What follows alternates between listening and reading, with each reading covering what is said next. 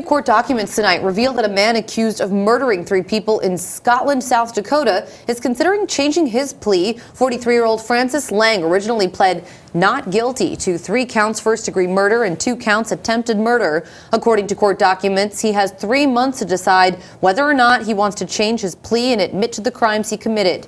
If there is a plea deal, Lange will enter his plea on February 21st of next year. If there's no deal, prosecutors must file documents saying whether they will seek the death penalty that same day, and the court will then schedule a jury trial. Back in November of 2021, Lange is accused of going to a residence with a gun and shooting everyone there, including a child. Three people died and two individuals were seriously injured in that shooting.